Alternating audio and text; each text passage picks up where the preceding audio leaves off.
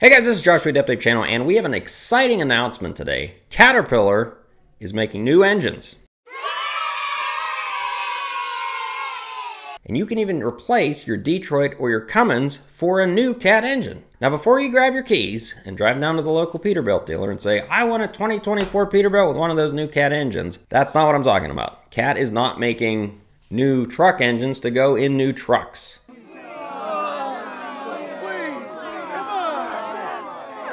So what I'm talking about here is Caterpillar has for the longest time not really made new castings for their engines.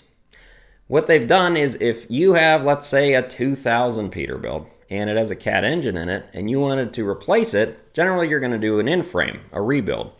But let's say something's wrong with the block. It's extremely rusted out, something like that. You would have to get a reman long block or complete engine.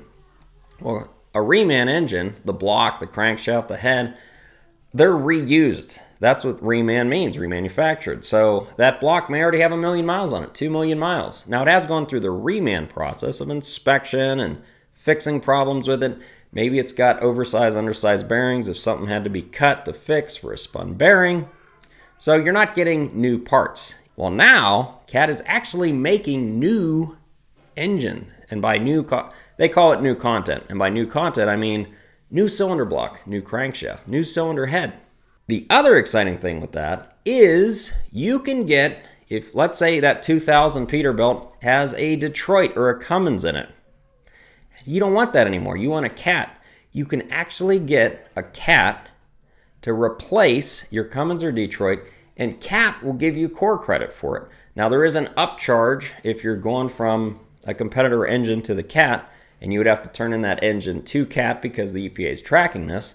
But as long as the emissions and the displacement are roughly the same, and by emissions I mean the year standard and displacement, they don't want you swapping in a 7 liter Cummins for a C15, you would have no problems there. There's a lot of stipulations with this program, and the program, at least me looking through it, there's some questions with specifics, but you can also swap cat for cat. So let's say you had a 3406E, but you wanted a 6NZ with a new block, where you're going from an E model to a C15. You can do that too. There is a fee with that, but CAT would allow you to do that. Also, their core criteria is much more lenient on the new content block. So if you had a rusted block that still rotates though, you might not get any core credit for the original reman on the old reman program, but the new blocks, you can get core credit.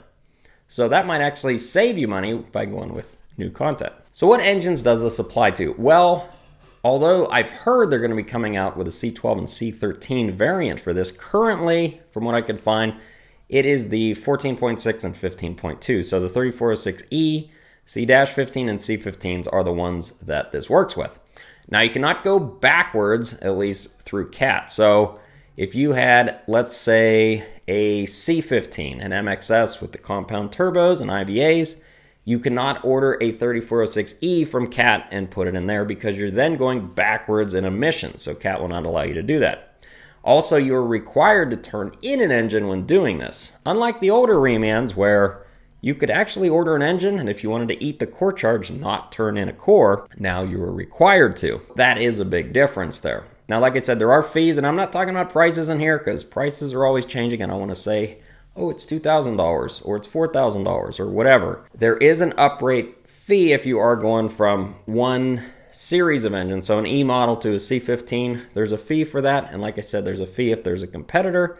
So if you're swapping a Detroit to a CAT. Now, obviously, this is not meant for millions of trucks out there. This is a very specific thing, but there are customers who really like their trucks, and maybe that engine's been in frame several times already. And instead of getting a reman, you want to pay a little more, or your core would not be good for a reman. So, but it would be good in this program.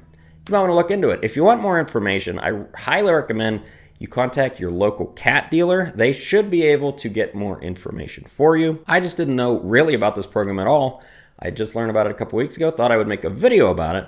Now, if it is something you want to do, and let's say you want to swap a Cummins to a cat, or a Detroit to a cat, or even an older cat to a newer cat, or vice versa, you can also reach out to me at adeptape.yahoo.com if you're looking for someone to do it, and I would love to make a video about it if that's something you're considering. So updateyahoo.com if you're considering that. This is where this video is going to end, but I'm sure you guys wanted a shop video, and the red truck I was working on still hasn't been approved, so I make this video.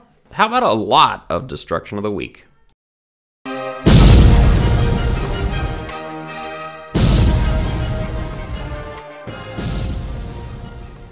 So we've got our first one here from Jeff, and this is obviously a piston that's seen some uh, bad things. And this is actually out of a C-175, which if you know what those are, they're huge. We're talking three, 4,000 horsepower here. This was in a ship with zero hours. Here's the rod cap. Look how big the rod caps are. But I've got a real treat for you on this one. He actually sent a video of the piston right after it came out of this engine. So this was under a new test, like a uh, seaworthy test, I guess. And it threw it out the side. They got video of it still steaming. That is pretty interesting. Thanks, Jeff. Next one's from Casey. And Casey has pictures, not from something he's working on, but look at the piston ring here. It's just disintegrating. And he said there was multiple cylinders like this. You can see they're broken in multiple places.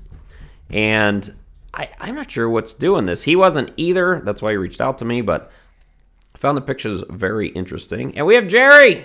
Who doesn't like a Jerry Destruction of the Week picture? Planetary, you can see the gears are all messed up on both the main gear, and I don't know all the planetary terms, folks. I'm a truck mechanic, but I can tell that those are messed up. This one's from Shay.